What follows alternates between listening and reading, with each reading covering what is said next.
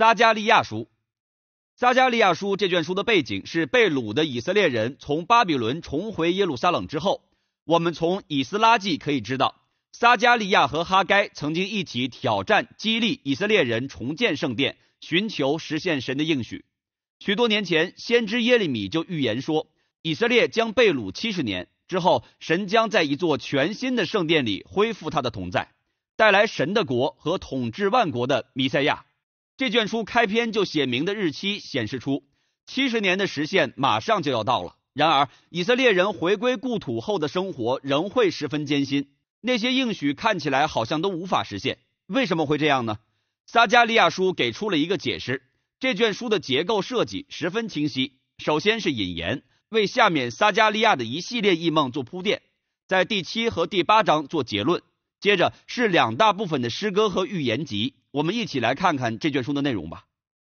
书卷以撒加利亚对他这一代人的挑战开始，他号召百姓回转归向神，不要效仿列祖的悖逆，拒绝听从先知，导致全民被掳。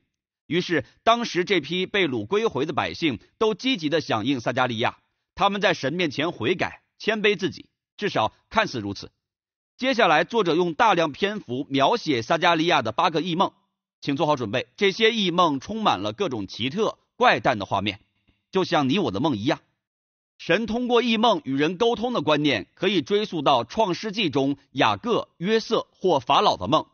这些梦为当时发生的事赋予了意义，同时通过这些梦也让人预见未来。在这里，撒加利亚的异梦被排列成有趣的对称形式。第一个和最后一个意象分别描述了四位骑士像护卫队一样代表神巡逻世界，这象征着神对万国的细心关注。他们报告说，世界正处于和平之中。在撒加利亚时代，这指的是神兴起波斯，征服巴比伦国，带来了世界和平。现在问题来了，以色列被掳七十年的期限就要到了，弥赛亚王国会在这个时候降临耶路撒冷吗？神回应说。他一定会实现这些应许，但没有给出确切的时间点。第二个和第七个意象遥相呼应，因为他们都是对以色列过往的罪和流亡的反省，所以第二个意象与角有关。这些角象征着曾经攻击、分散以色列的国家亚述和巴比伦。然而，这些角或帝国本身也被一群匠人分散，这群匠人代表波斯。第七个梦是关于一个凉气中的妇人。它象征着几百年来以色列不断背叛盟约的罪。有另外两个扇着鹳鸟翅膀飞行的妇女，带着这个妇人和凉气一起到了巴比伦。这真是一幅奇怪的画面。第三个和第六个意象彼此对应，他们都与新耶路撒冷的重建有关。一个人正在丈量这座城市，这是神应许重建耶路撒冷的意象。耶路撒冷将被称作列国的明灯，带领列国共同敬拜神。第六个异梦与书卷有关。这卷书在新耶路撒冷城飞行，惩治偷盗和说谎的人。它表明新耶路撒冷是一个被圣经的话语所洁净的地方。位于这一系列梦境核心的是第四和第五个意象，是关于被掳后归回的两位重要领袖——大祭司约书亚和大卫王的后裔所罗巴伯。约书亚一直穿着污秽的衣服，它象征着以色列的罪。但是这些脏衣服被脱掉了，他穿上了华美的礼服，戴上圣洁的冠冕，这象征着神的恩典和饶恕。接着，一名天使告诉约书亚，如果他一直忠于神，他将带领神的百姓，并成为未来弥赛亚王的预表。另一个意象是关于两棵橄榄树，它们为一只精致的金灯台供应灯油。这座金灯台象征着神看顾他的子民的眼目。橄榄树代表两位瘦高的领袖，就是领导圣殿重建工作的约书亚和所罗巴伯。神说，如果只是依靠政治权力和谋略能力，新圣殿的建造不会成功。相反，他们必须依靠神的灵才能工作。这些意象以一个辉煌的远景结束，它延续了第四和第五个意象的主题。神再次提到大祭司约书亚，并赐给他冠冕，象征着将来的弥赛亚。掌管神国的祭司。接着，撒加利亚总结说：“只要这一代的以色列人忠于神，遵守诫命，这些意象就一定会实现。”所以，这三个意象都强调弥赛亚国度降临的前提是这一代以色列百姓要忠于神。这句话总结了以上的梦境。撒加利亚再次向以色列人发出挑战。一群为圣殿被毁哀哭了七十年的以色列人前来问撒加利亚：“现在可以停止哀哭了吗？神的国就快要来了吗？”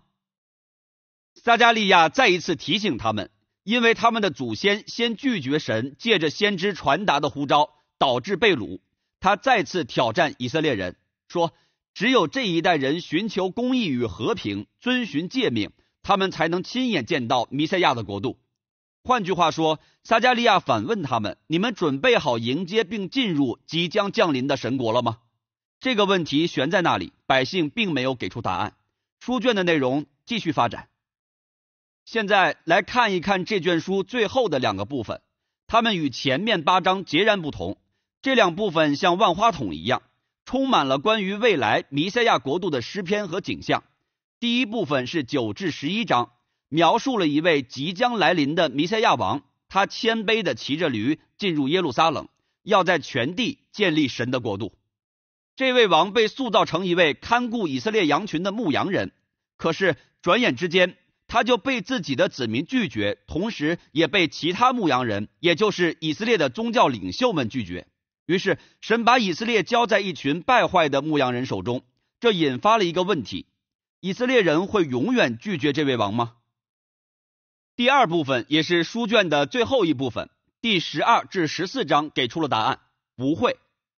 这是另一幅关于未来弥赛亚国度的拼图，其中的诗歌和画面描绘了一座全新的耶路撒冷。